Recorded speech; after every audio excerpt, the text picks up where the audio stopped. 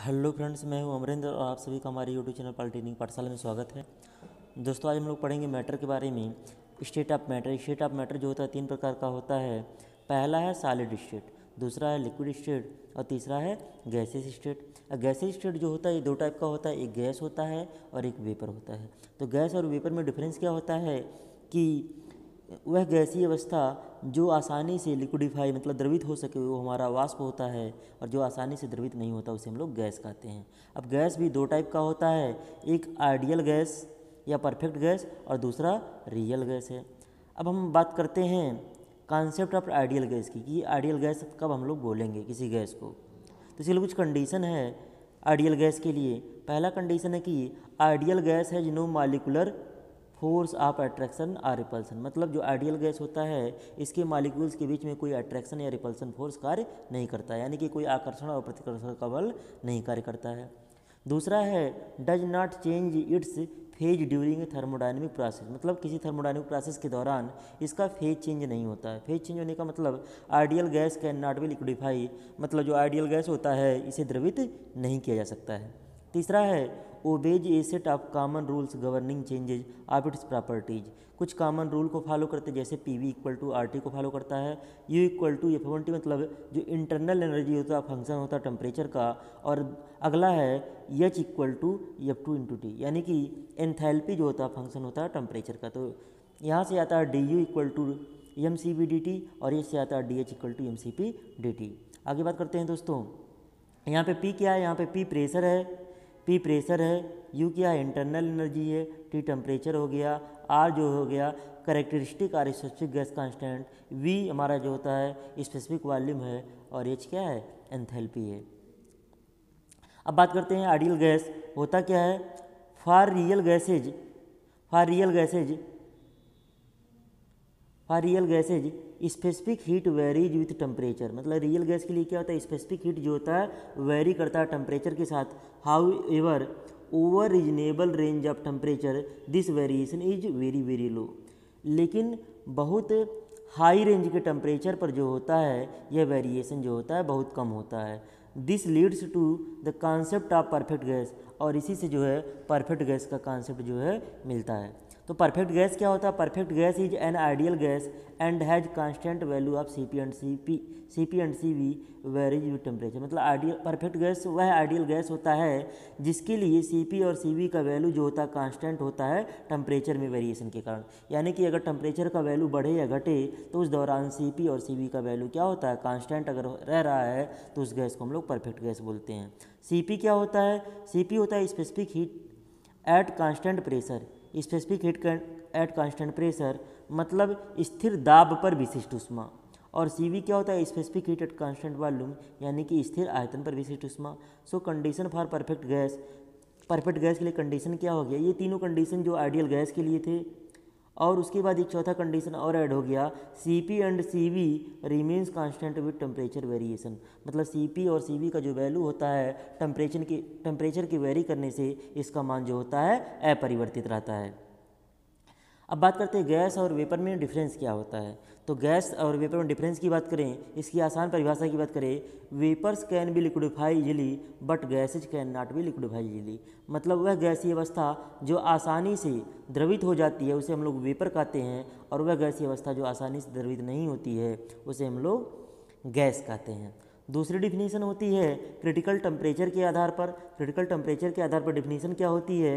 Vapours and gases both are gases state मतलब वाष्प और गैस क्या है? दोनों जो है गैसीय अवस्थाएँ हैं। इफ़ टेम्परेचर ऑफ़ गैसीय substance is more than its critical temperature यदि किसी गैसीय अवस्था का जो टेम्परेचर होता है, उसके क्रांतिक तापमान से ज़्यादा होता है तो इसे गैस कहते हैं अदरवाइज़ वेपर यानी कि वह गैसीय अवस्था जिसका तापमान उसके क्रांतिक तापमान से अधिक होता है उसे गैस कहते हैं और वह गैसीय अवस्था जिसका तापमान उसके क्रांतिक तापमान से कम होता है उसे वेपर कहते हैं।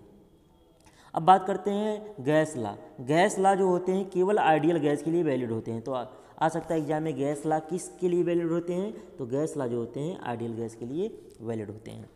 आगे बात करते हैं बॉयल्स ला की। तो बॉयल्स ला क्या होता है?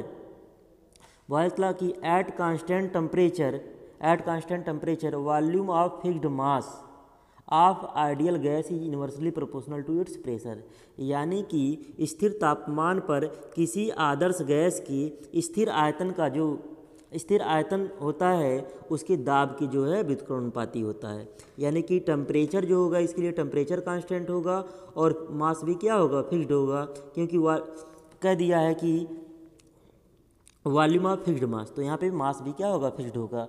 तो इसके लिए वी जो समानुपाती होगा वन बाई पी के तो यहाँ से P V equal to constant आ जाएगा। तो P V equal to constant तो यानी कि P one V one equal to P two V two तो इस पर जो है एग्ज़ाम में न्यूमेरिकल भी आ सकता है बॉयल्स लॉ पे और इसके डायग्राम की बात करें तो ये इसका पी वी डायग्राम बना हुआ है। तो पी वी डायग्राम में, यानी क्या है प्रेशर जो है वॉल्यूम की जो है व्युत्क्रमण पाती है। यानी कि प्रेशर का वैल्यू अगर घटेगा तो वॉल्यूम क्या करेगा वेरी करेगा। और आइडियल गैस के लिए जो प्रोसेस हो रहा है, इसको हम लोग हाइपरबोलिक प्रोसेस भी कहते हैं। तो बॉयल्स लॉ में जो प्रोसेस हो रहा है, इसको कौन सा प्रोसेस कहते हैं? हाइपरबोलिक प्रोसेस कहते हैं। इस नाते कभी कभी बॉयल्स लॉ को जो है हाइपरबोलिक लॉ भी बोल देते हैं। तो एग्ज़ाम में अगर हाइपरबोलिक लॉ आता है तो उसका मतलब हम लोग बॉयल्स लॉ ही समझेंगे। आगे बात करते हैं चार्ल्स लॉ का। चार्ल्स लॉ क्या होता है? Charles law at constant pressure volume of fixed mass of ideal gas is proportional to its absolute temperature proportional to its absolute temperature यानी कि स्थिर दाब पर किसी आदर्श गैस की निश्चित मात्रा का जो आयतन होता है, उसके परम ताप के समानुपाती होता है। यानी कि यहाँ पे क्या है? प्रेशर कांस्टेंट और मास क्या है? कांस्टेंट है। मास भी फिक्स्ड है। देखिए, मास जो है सभी गैस नियम के लिए फिक्स्ड होता है तो बॉयल्स वाले में टेम्परेचर कांस्टेंट था, ये एग्ज़ाम में आता है, और चार्ल्स ला वाले में क्या है प्रेशर कांस्टेंट है तो ये काफ़ी इंपॉर्टेंट है। यानी कि वी समानुपाती टी है तो इसके अकॉर्डिंग देखेंगे वी बटे टी इक्वल टू कांस्टेंट होगा तो यानी कि यहाँ से आ गया V one upon T one equal to V two upon T two इस पर भी न्यूमेरिकल आने की संभावना रहती है। इसका डायग्राम की बात करें तो ये हमारा वी और टी के बीच में जो है डायग्राम बना हुआ है, यहाँ पे क्या है प्रेशर कांस्टेंट है। और यहाँ पे हम लोग देख रहे हैं, जैसे जैसे वॉल्यूम का वैल्यू बढ़ रहा है, वैसे वैसे टेम्परेचर का वैल्यू भी क्या हो रहा है, बढ़ता जा रहा है। तो ये हो गया वॉल्यूम और परम ताप के बीच में। अगर हम लोग टेम्परेचर डिग्री सेल्सियस में अगर दिखाएँ तो उसका ग्राफ जो होगा, यहाँ पे होगा, क्योंकि इसका जो ज़ीरो होगा, यहाँ से शुरू होगा। मतलब जो हमारा केल्विन में होगा तो यहाँ पे क्या हो जाएगा माइनस दो सौ तिहत्तर डिग्री सेल्सियस होगा। तो इसका जो अगर डायग्राम होगा, ये वाला हमारा डायग्राम होगा। वॉल्यूम और टेम्परेचर जो हमारा सेल्सियस में रहेगा। आगे बात करते हैं। गेलुसैक ला का। गेलुसैक ला क्या होता है? At constant volume pressure of fixed mass of ideal gas is proportional to its absolute temperature यानी कि स्थिर आयतन पर किसी गैस की, किसी आदर्श गैस की निश्चित मात्रा का जो दाब होता है, उसके परमताप के समानुपाती होता है। यानी कि यहाँ क्या हो गया? वॉल्यूम कांस्टेंट हो गया और मास तो हर जगह फिक्स्ड रहेगा। तो पी समानुपाती टी हो गया तो P one upon T one equal to P two upon T two और यहाँ से हम लोग देख रहे हैं कि जो हमारा प्रेशर और टेम्परेचर के बीच डायग्राम है, ये वाला डायग्राम है। तो तीनों नियम में सबसे इंपॉर्टेंट है कि हमारा जो बॉयल्स लॉ होता है बॉयल्स लॉ में टेम्परेचर कांस्टेंट होता है चार्ल्स लॉ में प्रेशर कांस्टेंट होता है और जो हमारा गेलुसैक लॉ होता है, इसमें वॉल्यूम कांस्टेंट होता है। तो हम लोग इसको याद करने का तरीका भी हो सकता है, जैसे बॉयल्स मतलब होता है उबालना उबालना जो है टेम्परेचर से रिलेटेड है तो बॉयल्स लॉ में टेम्परेचर हो गया। ऐसे ही चार्ल्स में हमारा प्रेशर और वॉल्यूम में जो है चार्ल्स ला में हमारा प्रेशर कांस्टेंट होता है और गलूसक ला में जो है वॉल्यूम कांस्टेंट होता है। तो ये काफ़ी इंपॉर्टेंट है, एग्ज़ाम में इसी कहने की संभावना रहती है। नहीं तो इन तीनों नियम पे जो है न्यूमेरिकल भी आ सकते हैं एग्ज़ाम में। अब अगर बात करें प्रेशर और टेम्परेचर सेल्सियस में अगर बात करें तो हमारा इसके लिए ये वाला डायग्राम क्या होगा? होगा प्रेशर और टेम्परेचर जो हमारा डिग्री सेल्सियस में रहेगा। आगे बात करते हैं दोस्तों। अब अगला टॉपिक है करेक्टरिस्टिक गैस इक्वेशन और equation of state for an ideal gas मतलब लाछड़ी गैस समीकरण क्या होता है? तो हम लोग जानते हैं for fixed mass of an ideal gas मतलब आइडियल गैस की निश्चित मात्रा के लिए जो होता है चार्ल्स ला के अकॉर्डिंग वी समानुपाती टी होता है। अगर बॉयल्स ला की बात करें तो बॉयल्स ला के अकॉर्डिंग वी समानुपाती होता है वन बाई पी अगर हम इक्वेशन वन और टू की बात करें तो यहाँ से आ जाएगा वी समानुपाती टी अपन पी या यहाँ से आ गया P V upon T equal to constant इसके अकॉर्डिंग देखेंगे यूनिट मास के लिए जो हमारा वॉल्यूम होगा कैपिटल वी जो हमारा यहाँ पे टोटल वॉल्यूम है स्मॉल वी जो स्पेसिफिक वॉल्यूम है, और स्मॉल वी बराबर होता है कैपिटल वी अपान एम इसको इसको स्पेसिफिक वॉल्यूम कहते हैं स्मॉल वी को, और ये होता है किसी पदार्थ के इकाई द्रव्यमान का जो आयतन होता है, उसी को हम क्या कहते हैं? स्पेसिफिक वॉल्यूम या अपेक्षिक आयतन कहते हैं। तो यहाँ से देखेंगे यूनिट मास के लिए जो हमारा कैपिटल वी होगा स्मॉल वी के बराबर होगा तो यहाँ से P V upon T equal to R आ गया, यानी पी वी बराबर आर टी तो यहाँ से हमारा आ गया P V equal to R T जहाँ इस ये वी है क्या? वी जो है, यहाँ पे स्पेसिफिक वॉल्यूम है। आर क्या है? करेक्टरिस्टिक गैस कांस्टेंट है। टी क्या है? एब्सोलूट टेम्परेचर है। और पी क्या है? प्रेशर है। तो पी वी बराबर आर टी आ गया। अगर हम टोटल वॉल्यूम के टोटल के फॉर्म में लिखेंगे, अगर टोटल के फॉर्म में हम लोग लिखेंगे, यहाँ पे स्मॉल वी जो है स्पेसिफिक वॉल्यूम अगर टोटल लिखेंगे तो कैपिटल वी के फॉर्म में तो हो जाएगा P V equal to M R T तो पी वी बराबर आर टी कब होगा? जब हमारा स्मॉल वी क्या होगा? स्पेसिफिक वॉल्यूम होगा। और पी वी बराबर एम आर टी क्या होगा? जब वी क्या होगा? टोटल वॉल्यूम होगा। तो ये हम लोग जानते हैं स्मॉल वी बराबर क्या होता है? कैपिटल वी अपान एम तो इस वाले इक्वेशन में अगर ये वाली वैल्यू पुट करेंगे तो हमारा P V equal to M R T आ जाएगा। आगे बात करते हैं। अब कंक्लूजन की बात करते हैं। कुछ निष्कर्ष निकलते हैं। इससे निष्कर्ष क्या निकला कि जो R is called characteristic gas R specific gas constant मतलब आर जो होता है स्पेसिफिक गैस कांस्टेंट होता है which is fixed for a particular gas जो कि किसी एक निश्चित गैस के लिए क्या होता है? स्थिर होता है but changes for different gases लेकिन अलग अलग गैसों के लिए आर का मान क्या होता है? अलग अलग होता है। यानी आर जो होता है, आर को लाछड़ी गैस स्थिरांक कहते हैं या करेक्टरिस्टिक गैस कांस्टेंट कहते हैं और इसका मान किसी पर्टिकुलर गैस के लिए एक होता है, जबकि अलग अलग गैसों के लिए इसका मान क्या होता है? अलग अलग होता है। यानी कि अगर ऑक्सीजन की बात करें तो हर एक ऑक्सीजन के लिए हमारा आर का वैल्यू क्या होगा? सेम होगा। नाइट्रोजन के लिए बात करें उसका अलग होगा। कार्बन डाइऑक्साइड की बात करें तो उसका अलग होगा। लेकिन अगर सबका आपस में तुलना करें तो सबका मान क्या होगा? अलग अलग होगा, लेकिन पर्टिकुलर की बात करें, उसका मान क्या होगा? कांस्टेंट होगा। अब यूनिट आप आर की बात करें तो P V equal to R T होता है तो उसके अकॉर्डिंग देखेंगे, यहाँ पे जो स्मॉल वी है, यहाँ पे स्पेसिफिक वॉल्यूम है तो यहाँ से देखेंगे तो पी का यूनिट हो गया न्यूटन पर मीटर स्क्वायर स्पेसिफिक वॉल्यूम क्या था आपका? स्मॉल वी बराबर था कैपिटल वी अपान एम तो कैपिटल वी अपान जब यम होगा तो इसका यूनिट कैपिटल वी का यूनिट हो गया वॉल्यूम का यूनिट मीटर क्यूब यम का यूनिट के जी तो मीटर क्यूब पर के हो गया और टेम्परेचर का यूनिट हो गया केल्विन तो यहाँ से देखेंगे एक मीटर स्क्वायर यहाँ पे यहाँ मीटर क्यूब है तो मीटर स्क्वायर से मीटर क्यूब को काटेंगे तो मीटर बचेगा। यहाँ पे जैसे न्यूटन मीटर क्यूब हो गया, ऊपर नीचे मीटर स्क्वायर नीचे आ गया, अपान के और केल्विन तो आगे साल करने पे हमारा नीचे मीटर स्क्वायर है, ऊपर क्या है, मीटर है तो मीटर स्क्वायर कट जाएगा तो ऊपर हो जाएगा न्यूटन मीटर, नीचे के जी केल्विन। तो इसके अकॉर्डिंग आ गया जूल पर के जी केल्विन। तो आर का यूनिट क्या होगा जूल पर के जी केल्विन। काफ़ी इंपॉर्टेंट है कि जो हमारा करेक्टरिस्टिक गैस का स्टेट होता है, इसका यूनिट क्या होता है? लाछड़ी गैस स्थिरांक जो होता है, इसका यूनिट जो होता है, जूल पर के जी केल्विन होता है। हम बात करते हैं relation between characteristic gas constant and universal gas constant तो करेक्टरिस्टिक गैस कांस्टेंट को जनरली यू आर से दर्शाते हैं और यूनिवर्सल को जो होता है आर यू से दर्शाते हैं। अगर दोनों को एक साथ रिप्रेजेंट करना हो। तो हमारा जो आर बराबर होता है आर यू अपान यम होता है, जो यहाँ पे यम क्या है? मालिकुलर वेट ऑफ़ गैस तो मालिकुलर वेट ऑफ़ गैस है और आर यू क्या है? आर यू का जो वैल्यू होता है आठ हज़ार तीन सौ चौदह।